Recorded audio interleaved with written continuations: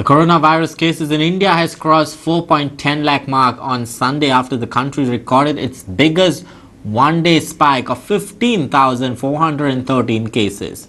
1 lakh cases were reported in India within 8 days.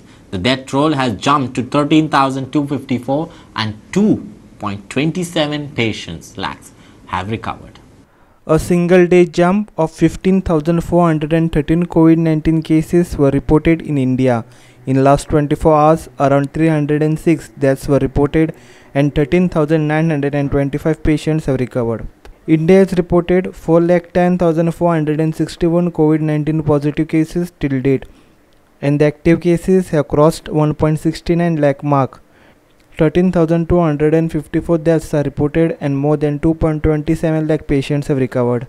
Here are the 5 worst hit coronavirus states. Maharashtra is leading with 1.28 lakh cases followed by Tamil Nadu 56,845, Delhi 56,746, Gujarat 26,680 and Uttar Pradesh 16,594 cases. More than 1 lakh COVID-19 cases were reported worldwide in single day.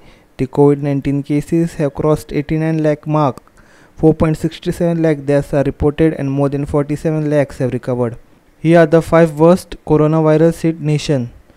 United States is leading with more than 22 lakh cases followed by Brazil 10 lakh cases, Russia 5.76 lakh cases, India is fourth worst hit nation with 4.10 lakh cases and UK with 3 lakh cases. Bureau Report Goa 365